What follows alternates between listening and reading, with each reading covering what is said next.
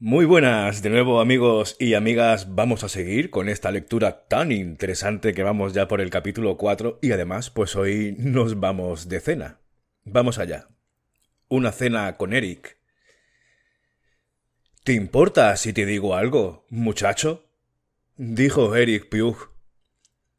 Sir Stafford Naye le miró.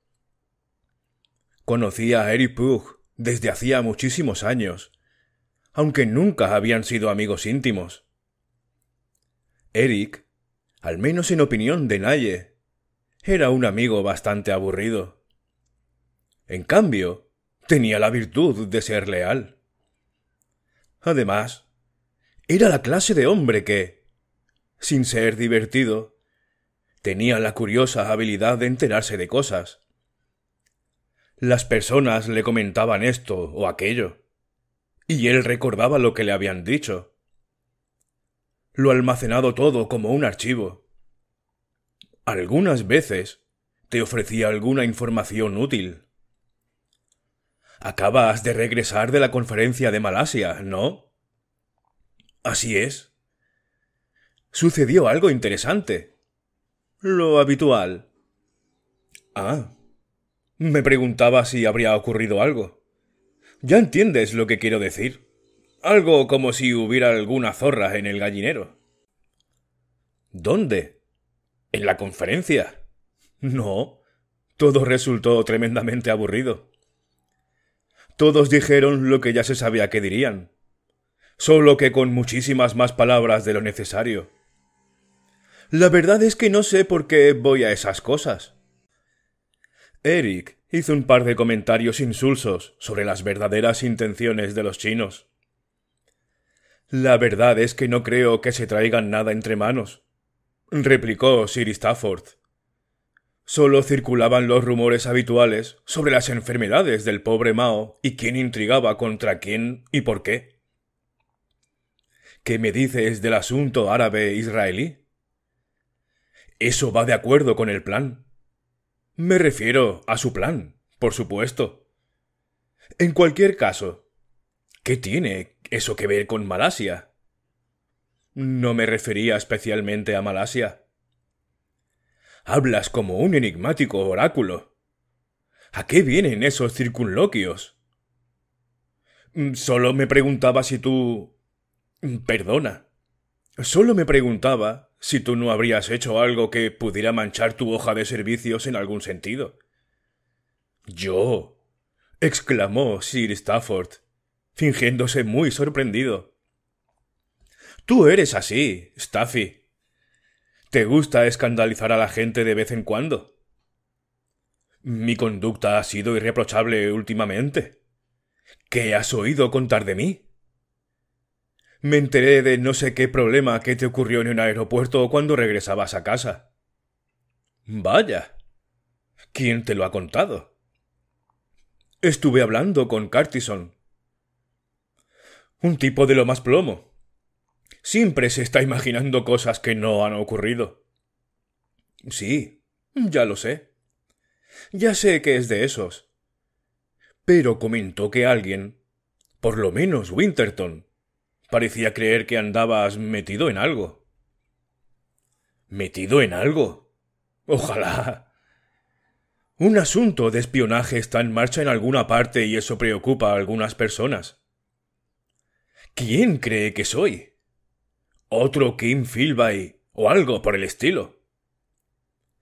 Ya sabes que a veces eres muy poco prudente con las cosas que dices. Te gusta bromear sobre cosas que son muy serias. A veces resulta muy difícil evitarlo. Todos esos políticos, diplomáticos y todos los demás son condenadamente solemnes. De vez en cuando te entran ganas de darles una buena sacudida. Tu sentido de la diversión es francamente retorcido, muchacho. De veras que lo es. A veces me preocupas. Querían hacerte algunas preguntas más sobre algo que ocurrió en el vuelo de regreso. Pues parecen creer que... bueno, que quizá no contaste toda la verdad. Ah, así que eso es lo que creen. Interesante. Creo que deberé trabajar esa parte un poco más. No se te ocurra hacer ninguna de las tuyas. De vez en cuando me merezco alguna pequeña diversión. Escucha, amigo mío. No se te ocurra ahora hacer algo que pueda arruinar tu carrera, solo porque quieras divertirte un poco. Cada día me convenzo más de que no hay nada más aburrido que tener una carrera. Lo sé, lo sé. Siempre has mantenido ese punto de vista y, por eso mismo, no has obtenido lo que te merecías. En un momento dado eras el gran candidato para Viena. No me gusta ver cómo estropeas las cosas. Me estoy comportando con la máxima sobriedad y virtud, te lo aseguro replicó Sir Stafford. Venga. Anímate, Eric. Eres un buen amigo. Pero la verdad es que no soy culpable de ninguna trastada. Eric meneó la cabeza como queriendo expresar sus dudas. Hacía una noche magnífica. Sir Stafford regresaba a su casa a través de Green Park. Mientras cruzaba la calle en Birdcage Walk, un coche se abalanzó sobre él y a punto estuvo de arrollarlo. Naye era un hombre atlético. Alcanzó la acera de un salto. El coche desapareció en la distancia. Pensó en el incidente. Por un momento, hubiera jurado que el conductor había intentado atropellarlo. Una idea interesante. Primero habían registrado su casa y, Ahora, tal vez incluso se había convertido en un hombre marcado. Probablemente solo era una coincidencia. No obstante, a lo largo de su vida, parte de la cual había transcurrido en lugares un tanto salvajes, había estado muchas veces en contacto con el peligro. Conocía, por decirlo de alguna manera, el olor del peligro. Ahora lo notaba. Alguien en algún lugar le había puesto en el punto de mira. ¿Por qué? ¿Cuál era el motivo? Hasta donde sabía, no había asomado la cabeza más de la cuenta. Entró en su casa y recogió la correspondencia. No había gran cosa. Un par de facturas y un ejemplar de Lifeboat. Dejó las facturas sobre el escritorio y metió un dedo debajo de la faja de la revista. Era de una causa a la que solía contribuir de vez en cuando. Pasó las páginas sin prestar mucha atención porque seguía concentrado en sus pensamientos. Pero entonces sus dedos tropezaron con un obstáculo. Había algo entre dos páginas. Algo pegado con cinta adhesiva. Lo observó lentamente. Acababan de devolverle el pasaporte por una vía poco habitual. Lo despegó de la revista. Comprobó los sellos de entrada y salida. El último era de la aduana del aeropuerto de Heathrow y correspondía al día anterior. Ella se había valido de su pasaporte había entrado en el país sin problemas y ahora había escogido esta vía para devolvérselo. ¿Dónde estaría ahora? Era algo que le gustaría saber. Se preguntó si la volvería a ver en alguna otra ocasión. ¿Quién era? ¿A dónde habría ido y por qué? Era como esperar el segundo acto de una obra aunque tenía la sensación de que aún no había acabado el primero. ¿Qué había visto? Quizá la actuación de un telonero. A una muchacha que había tenido el capricho ridículo de disfrazarse y hacerse pasar por un hombre. Alguien que había pasado por el control de pasaportes de Heathrow sin despertar la menor sospecha y que ahora se había perdido entre la multitud. No. Lo más probable era que nunca más la volviera a ver. Le irritaba. ¿Por qué? se preguntó. ¿Por qué deseo volverla a ver? No era especialmente atractiva. No era nada. No. Eso no era del todo cierto. Ella tenía algo. No sabía el qué. O no habría conseguido convencerle. Sin dramatismos. Sin valerse del sexo. Sino solo con una sencilla petición de auxilio. Para que hiciera lo que ella deseaba. Una petición de un ser humano a otro porque... o así lo había insinuado. No en palabras, pero sin duda lo había insinuado. Ella conocía a las personas y había adivinado en él a un hombre dispuesto a asumir riesgos para auxiliar a otro ser humano. Él había asumido el riesgo. Ella bien podría haberle echado cualquier cosa en la cerveza. De haber querido, hubieran podido encontrar su cadáver en un rincón de la sala de espera de un aeropuerto si ella tenía experiencia en el uso de drogas. Algo que parecía obvio. Su muerte bien podría haber pasado como la consecuencia de una parada cardíaca producida por la altitud. Un fallo en la presión de la cabina o cualquier otra cosa por el estilo. Pero... ¿Qué sacaba con pensar ahora en lo que hubiera podido pasar? No volvería a verla y eso le enojaba. Sí. Estaba enojado y no le gustaba. Consideró el tema durante unos minutos. Después escribió un anuncio que se publicaría tres días seguidos. Pasajero de Frankfurt, 3 de noviembre. Por favor, comunique con compañero de viaje a Londres. Nada más que eso ella respondería o no. Si llegaba a leerlo, sabría quién había insertado el anuncio. Había utilizado su pasaporte. Conocía su nombre. Podía buscarlo. Él recibiría alguna noticia. Quizá no.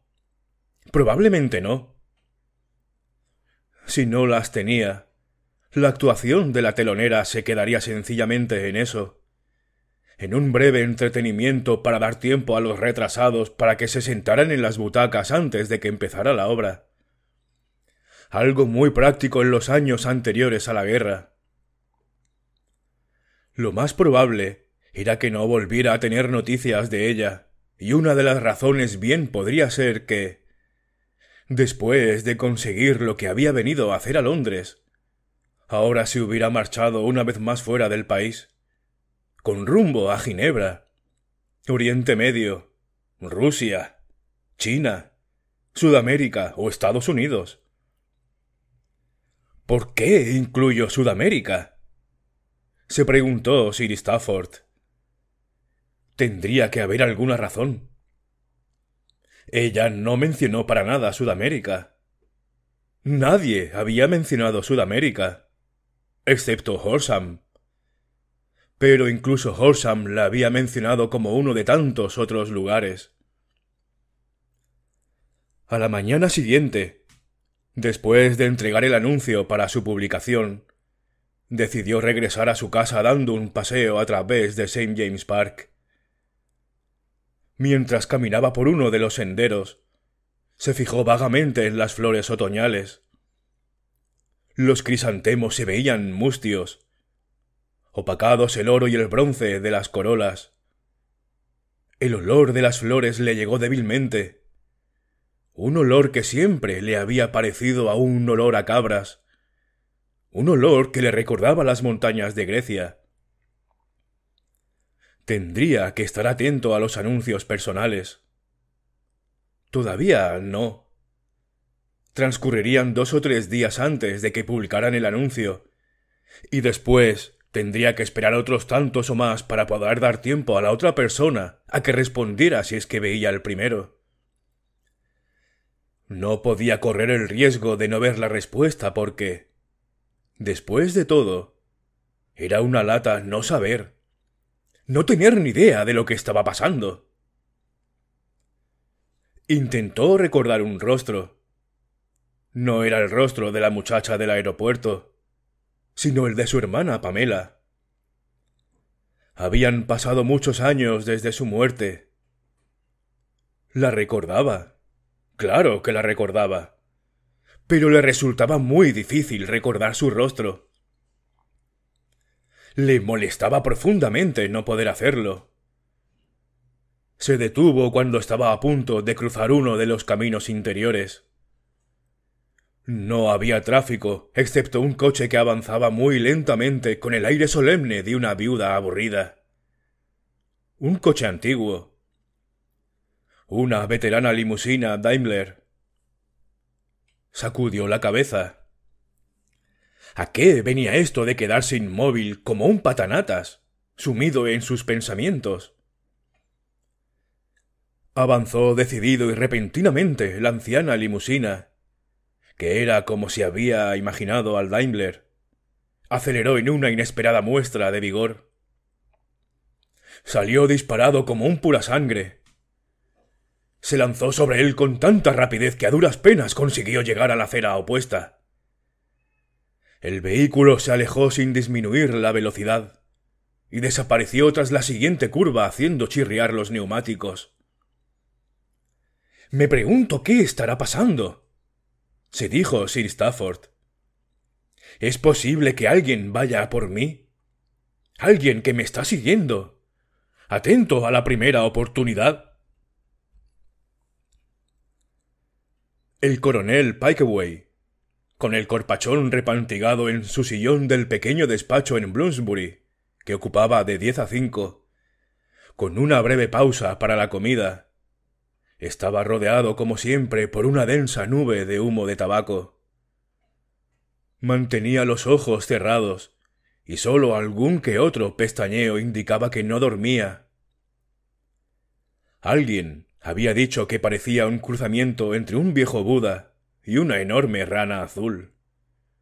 Con sólo unas gotas de sangre de hipopótamo, como había sugerido algún jovenzuelo insolente entre sus antepasados. El suave zumbido del intercomunicador que había sobre el escritorio le sacó de sus pensamientos. Parpadeó tres veces y abrió los ojos. Estiró el brazo con desgana para atender la llamada. Sí. El ministro está aquí, anunció la secretaria. ¿Quiere verle? Está aquí. ¿Se puede saber de qué ministro se trata? Es el ministro de la Iglesia Baptista que está a la vuelta de la esquina. No, coronel Pikeway. Es Sir George Packman. Una pena, manifestó el coronel, con un jadeo asmático. Una auténtica pena. El reverendo McGill es mucho más divertido. Tiene algo del fuego del infierno. ¿Le hago pasar, coronel? Supongo que querrá ser recibido de inmediato. Los subsecretarios son mucho más quisquillosos que los secretarios de Estado. Comentó Pikeway lúgubremente. Todos los ministros tienen la manía de venir por aquí como Pedro por su casa. Sir George Packman entró en el despacho e inmediatamente comenzó a toser. Les pasaba a todos. Las ventanas estaban cerradas a cal y canto. El traje del coronel tenía un color gris por culpa de la ceniza esparcida. El aire resultaba irrespirable y, en los círculos oficiales, se referían al despacho como la pequeña leonera. Ah, mi querido amigo, exclamó Sir George con un tono enérgico y alegre que no se correspondía mucho con su apariencia ascética y melancólica. Ha pasado mucho tiempo desde la última vez que nos vimos. Siéntese, siéntese. Un puro. Sir George se estremeció solo de pensarlo. No, gracias. Miró con insistencia las ventanas. El coronel no hizo caso de la indirecta Sir George se aclaró la garganta y volvió a garraspear antes de entrar en materia. Creo que Horsham ha venido a verle. Sí, Horsham vino aquí a decir lo suyo, admitió el coronel, dejando que sus párpados volvieran a cerrarse lentamente. Supuse que sería lo mejor. Me refiero a que viniera a verle. Es muy importante que las cosas no se divulguen por cualquier parte. Ah, pero es algo que siempre ocurre, ¿no le parece? ¿Perdón? Se divulgarán. No tengo muy claro qué es lo que sabe usted de todo este asunto. Aquí lo sabemos todo, replicó Pekeway en el acto. Para eso estamos. Sí, sí, desde luego. Se trata de Sir Easy N. ¿Sabe usted a quién me refiero? Recientemente un pasajero en Frankfurt. Un asunto extraordinario. Muy extraordinario. Uno se pregunta si... En realidad uno no sabe si... ni siquiera se imagina... El coronel le escuchaba amablemente. ¿Qué debemos pensar? insistió Sir George. ¿Le conoce usted personalmente? Me he cruzado con él en un par de ocasiones. No puedes dejar de preguntarte. El coronel hizo todo lo posible por reprimir un bostezo. Estaba aburrido de las cavilaciones de Sir George. Tenía una opinión muy pobre de los razonamientos de Sir George. Un hombre cauto. Una persona que sin duda dirigía su departamento con la máxima cautela. No era un hombre de un intelecto brillante. Quizá, se dijo Pikeway, eso fuera de agradecer.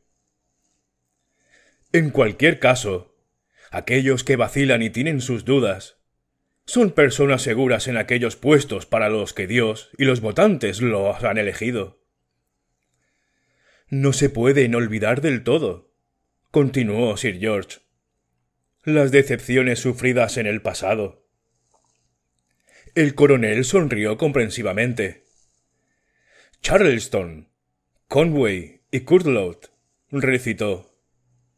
Hombres de toda confianza, investigados y aprobados. Todos con apellidos que comienzan por C y todos ellos corruptos hasta la médula.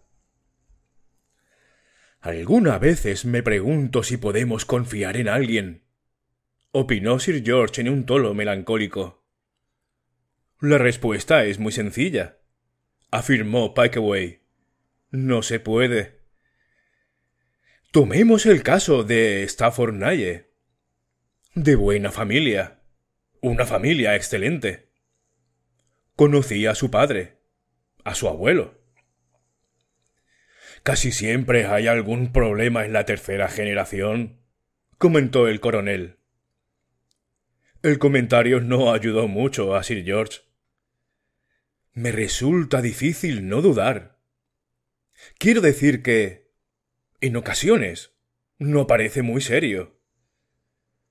Me llevé a mis dos sobrinas a ver los castillos de Loira cuando era joven.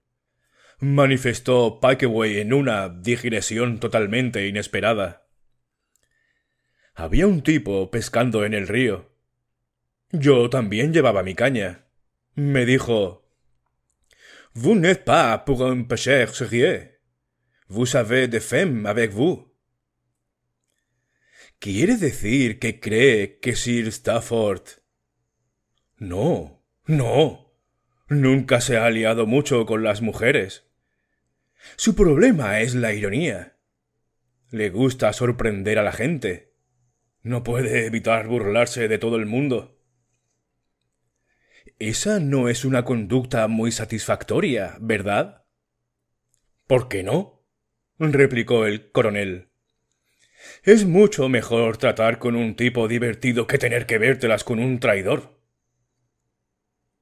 Si tan solo pudiera estar uno convencido de que es realmente íntegro. ¿Usted qué opina?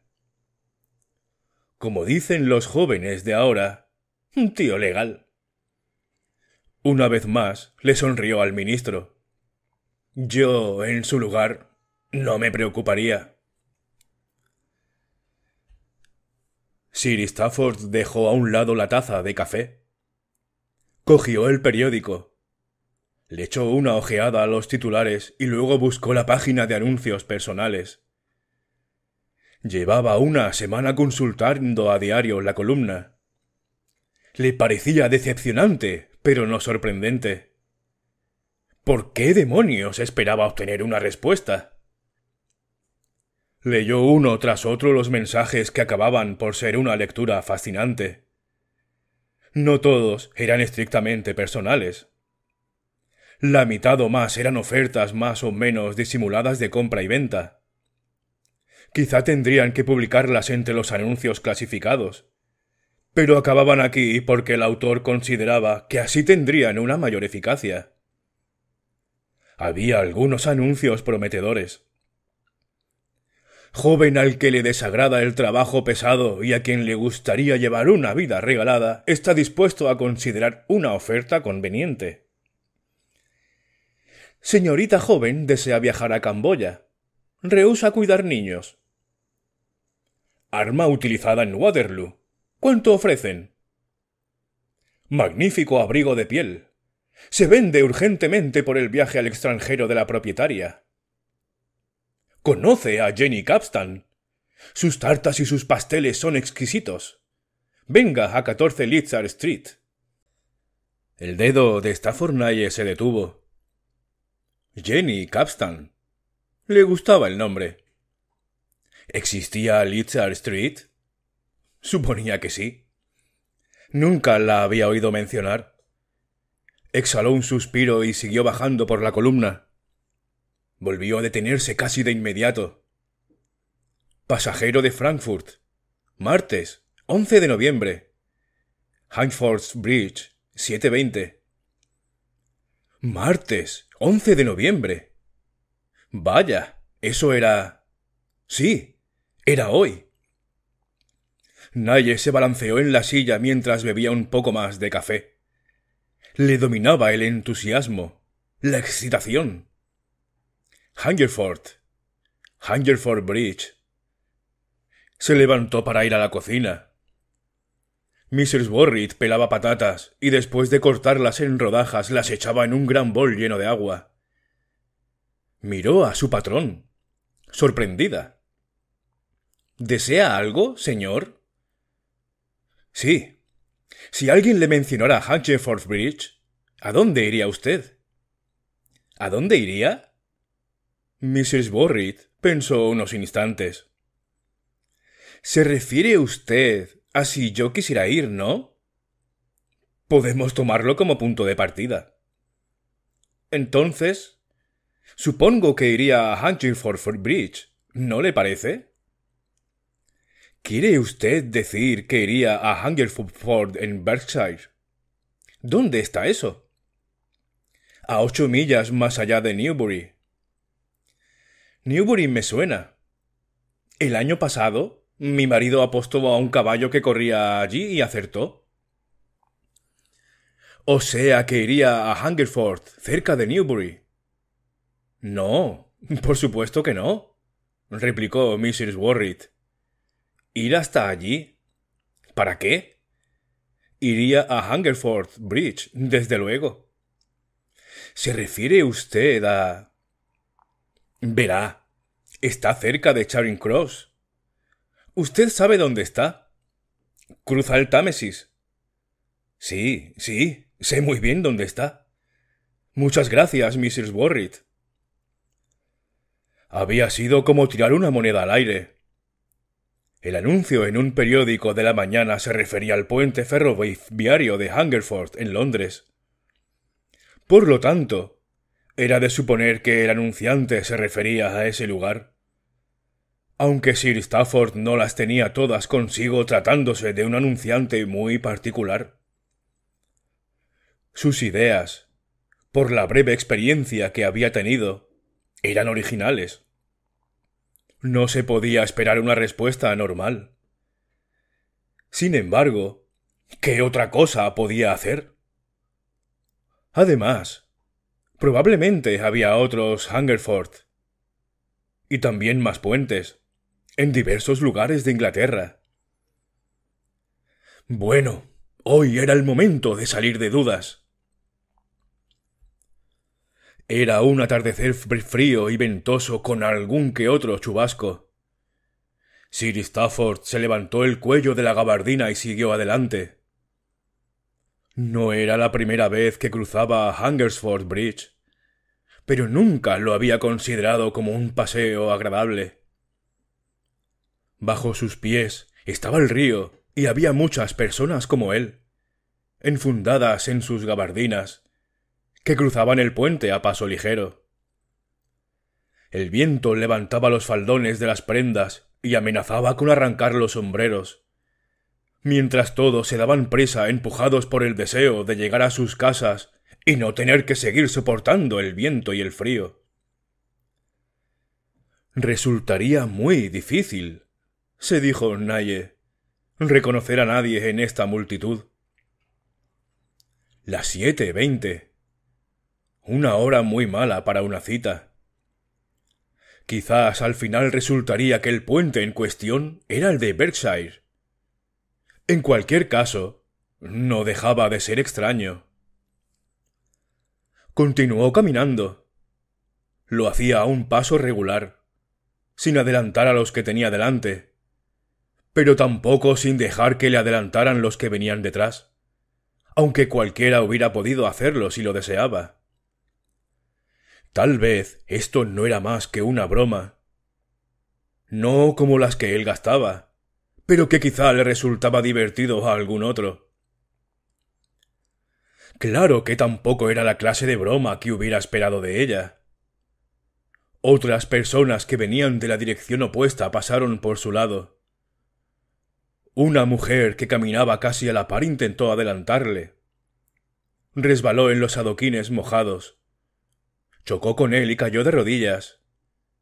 Naye la ayudó a levantarse.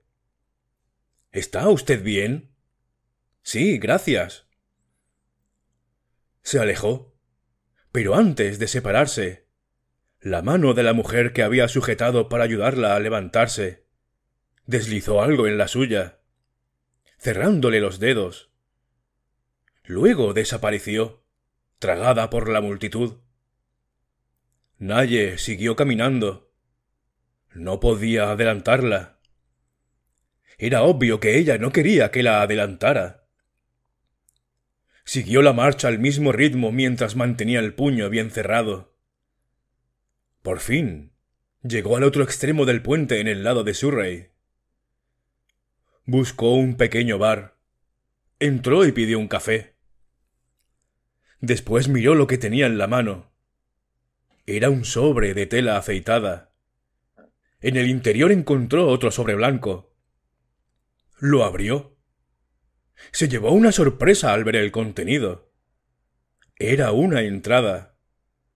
Una entrada al Festival Hall para el día siguiente.